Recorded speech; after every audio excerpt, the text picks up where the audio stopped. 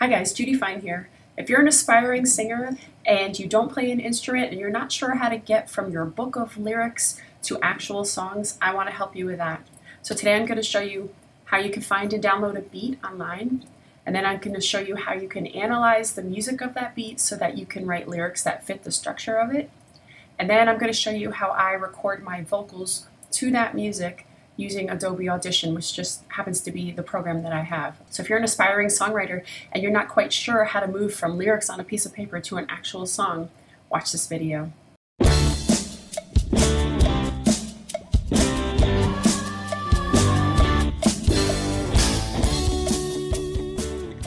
Okay, so before I get into the meat of this video, I just want to say if you like it, please give it a thumbs up, subscribe to my channel if you haven't already, ring the bell so you get notifications. All those things help me out a lot and I appreciate your support in that way.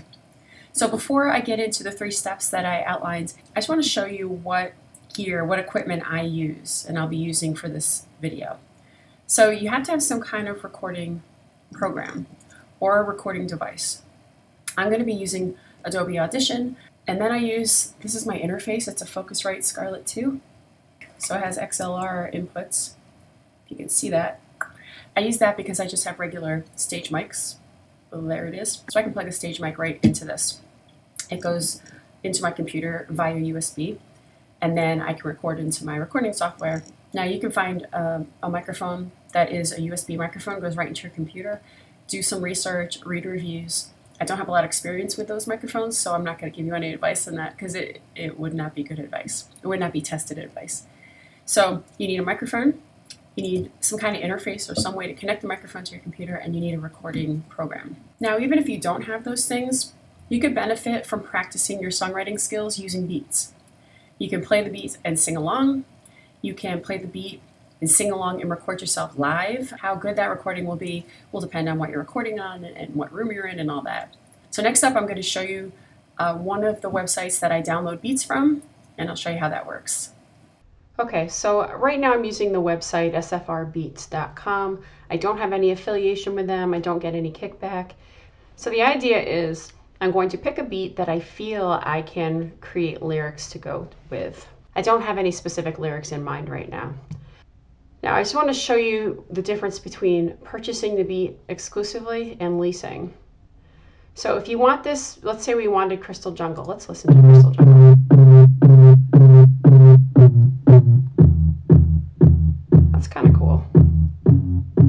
Now, you can have this beat exclusive to you, meaning nobody else can purchase and download this beat if you pay 238 bucks for it. Whereas Uprising here,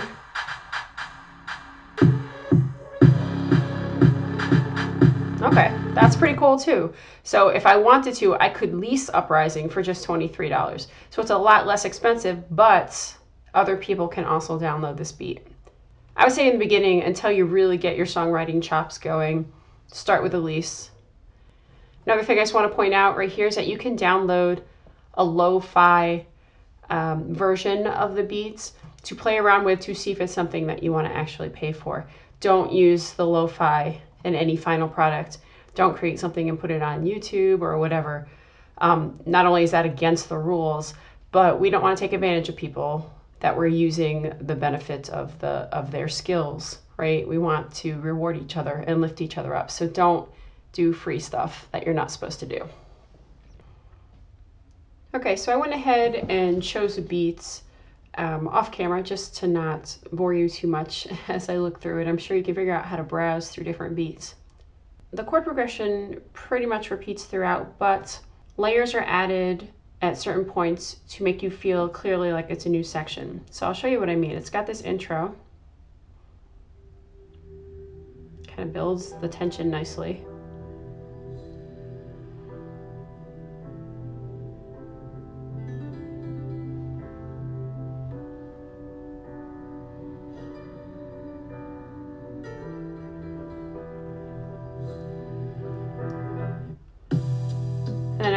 you know, verse one. And I'm going to fast forward. So it repeats that again, what I just called verse one. And you'll see in a second that it's going to do the same chord progression again, but it's going to add other layers that make it clear it's a different section. So listen here.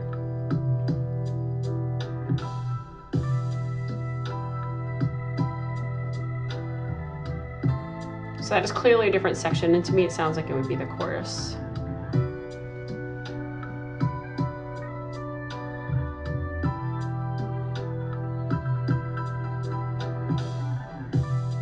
Then that repeats again. So I'm going to fast forward to the next verse. So it comes down again the way it was in the beginning, and now it feels like we're at another verse. Then it does the other section again. It goes without those additional parts, and now we feel like we're at the chorus again.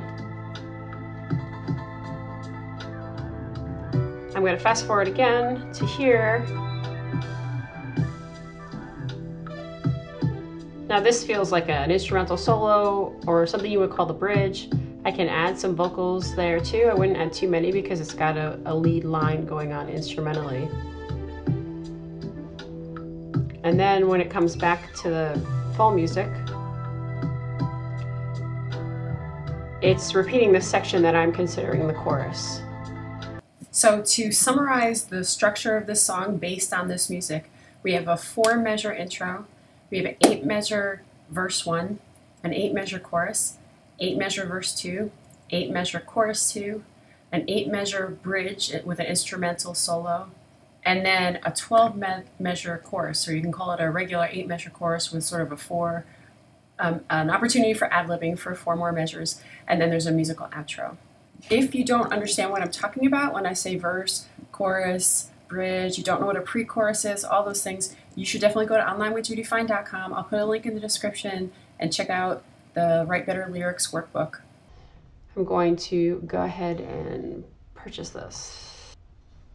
Um, here we go.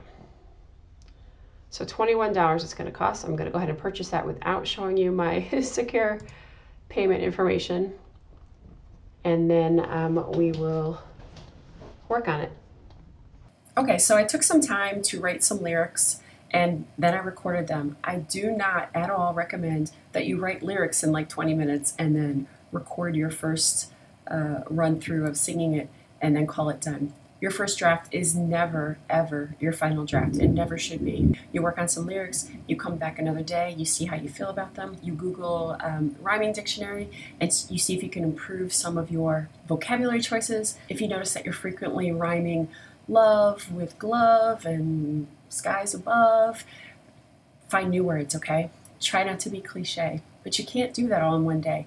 Your first day should just be getting your initial idea out. So the most important thing I want to emphasize here is when you're writing lyrics, your verses have to be different than your choruses or your bridge or your pre-chorus. So especially using a beat like this because the entire song is the same chord progression over and over again. So if your lyrics are, um, you have a lot of words moving quickly, then maybe in your chorus you, you use less words and move more slowly. Or if your um, verse is a lower part of your range, then your chorus maybe should be mostly in a higher part of your range or something like that. It has to be clear to the listener. These words are a verse, these words are a chorus. Okay, I'm in Adobe Audition right now.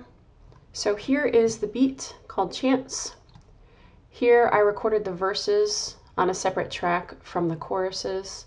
And I did that in case I want to put a different kind of effect on the course. That's always a good idea. Let me just show you really quickly how I got this beat in. So I downloaded it and then you just go to import file and then you select it and then you come to one of these one of these tracks you right click and you insert and it'll show up here SFR beats chance that's how I got that there okay so I'm not going to get specifically into an audition tutorial because you might be using something else but in a general sense, you need to have a track for vocals. I have two tracks for vocals here. I put the beat on one of the guitar tracks. And you can kind of see in here, um, I have to do this again because I just opened it, but here's my Scarlett. So whatever you're using as your input should show up here if it's active, and then you'll be able to choose that. And then you activate this track for recording by hitting that, R there. And then whenever you hit this record button down here, it's going to record whatever's on that track. So make sure you turn this off if you're going to record on a different track. And then you have options for um, putting effects on things, and I would recommend just starting with pre presets. there's a little bit of a learning curve and you should watch YouTube videos to find out more because there's a YouTube video to tell you how to do everything. So I'm going to end this video with, I guess we'll call it my final product here. It's a great starting place if you want to find musicians to play with you, if you want to find musicians who can add other lines, if you want to add other musical lines. Um, there's so many things you can do with this. You can make a YouTube video. But the really cool thing about Beats, or another cool thing about Beats, is that it's a great way to test out your songwriting skills because it gives you parameters within which you can practice your skills. And it's fun, and I encourage you to, to try it. Pay attention to my version of this song now. I, I guess it's called Night and Day or Working Night and Day, I don't know. But pay attention to how the verses are different from the choruses, alright? I'll see you next time. Please tell me why I never see you